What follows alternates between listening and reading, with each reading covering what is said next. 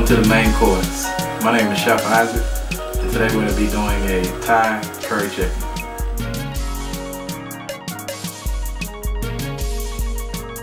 Now we just want to get a sharp edge on our knife before we start cutting.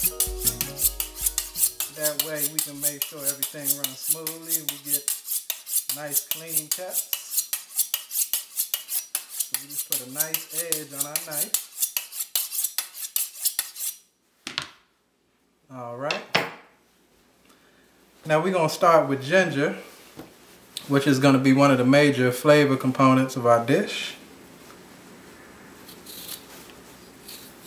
We'll just peel our ginger. Get you a nice big piece of ginger. So that way it's easier to peel. All right.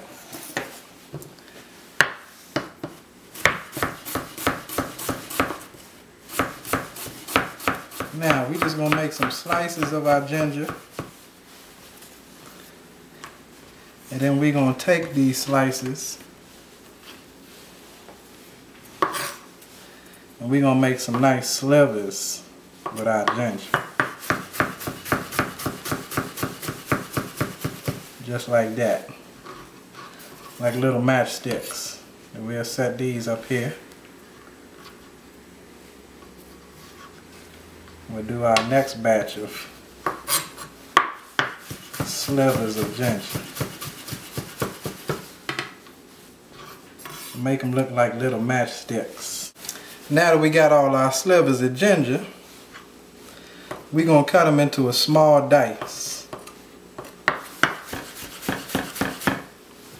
Now I like to do them in a small dice anytime I'm making a sauce like the Thai curry sauce we're going to be making. I like to do a small dice so that way I can distribute the flavor. So every time you take a bite into your dish, you're getting a nice hit of ginger.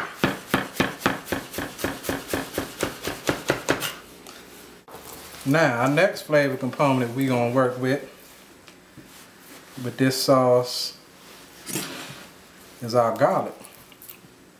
Now a lot of people like to take garlic and they smash it with their knife, but I don't like to do that because I don't want to damage the garlic. So what I do, I just twist it, then I peel it off, just like that.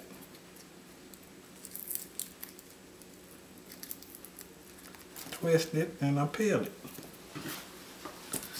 Now that's a big piece of garlic there. I'll just twist it and I'll take the peel off. Simple as that. Alright. Now what we're going to do with this garlic is make slivers of garlic just like these here. So we're going to run our knife through there one time.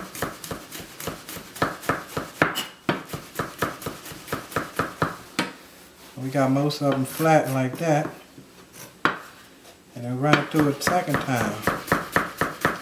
And so we got little matchsticks similar to the ginger. But we're not going to make a small dice out of them. Because when I have garlic and sauces, the garlic melts so good and it's so flavorful, I like to keep them in little like a small julienne or a small matchstick shape.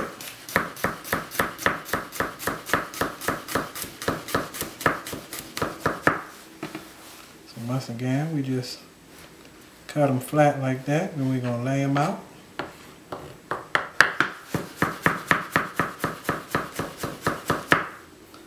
And see, we got those matchstick or a small julienne.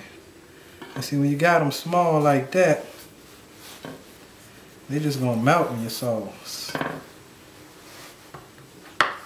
Which is what I wanted to do. I want my garlic to melt in my sauce. I want my garlic to melt in my Thai curry chicken.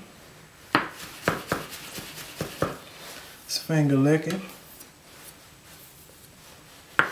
All right. So we'll finish with our garlic.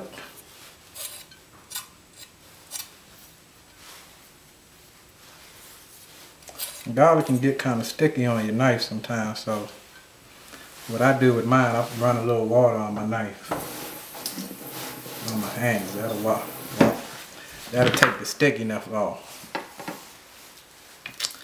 All right, now the next flavor component in our sauce that we're gonna prepare first is gonna be these green onions.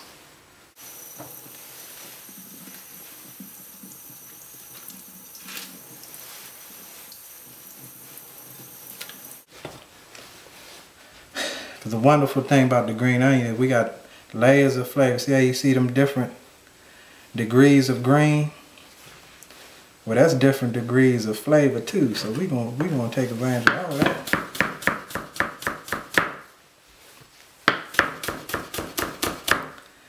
We're gonna take advantage of all that flavor.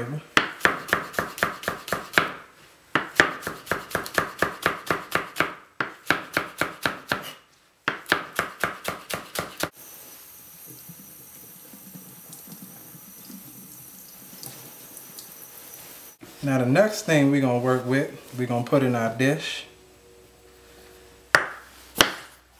is our red pepper. See, I like to cut my peppers like that. First I cut the top off and the bottom, lay it flat, and cut my sides. And this is gonna be the fiber. This is fiber and flavor. This is where we get our fiber and our flavor in our dish and I want to make a julienne of this. But I'm gonna do mine about like this. That's how I want all mine to look about like that. You want them to be we want them all to be you can get a good bite with each one. That's how we're gonna do that That's how we're going to do that. Cut them in half like that. And just cut them like that.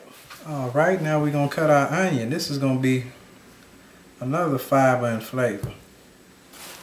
So you do your onion, same thing like with the pepper. You cut the bottom, the top, run your knife through the middle. And we're gonna peel it. Peel our onion.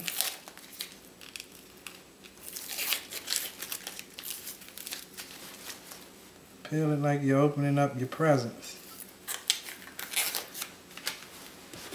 Like you're opening up your presents for Christmas. Alright. This is how you cut an onion. You wanna make a cut like that? No, I'm sorry. Well, that's all right. We'll just cut him in the middle because I'm going to make these. I'm going to make these about the same size we did those peppers.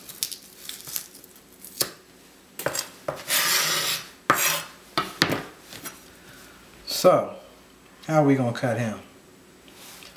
We'll do him like that. So you cut them like that, we're going to get each one about this size, about the same size as the pepper. See, the important thing with that is we want everything to cook at the same rate. So you don't want vegetables to be different sizes.